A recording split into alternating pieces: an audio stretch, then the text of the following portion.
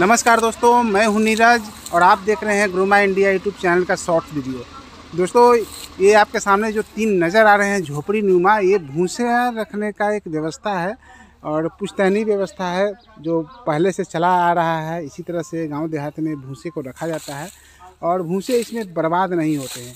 ऐसा हो, इसलिए भी दोस्त कि एक तो है कि इससे आपको जगह की भी बचत हो जाती है, आपको घर इंगेज नहीं करना पड़ेगा और साथ ही कम पैसे में आपका ये हो भी जाएगा। बाँस का बना हुआ है, ऊपर से छावनी दिया जाता है, झलास वगैरह का।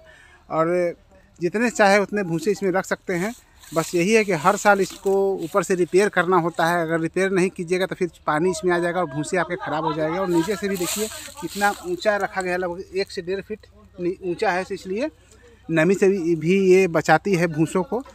तो बहुत ही अच्छा जुगाड़ है दोस्त, भूसे रखने का। तो जानकारी कैसे लगी कमेंट करके ज़रूर बताइएगा और लाइक और शेयर ज़रूर कीजिएगा।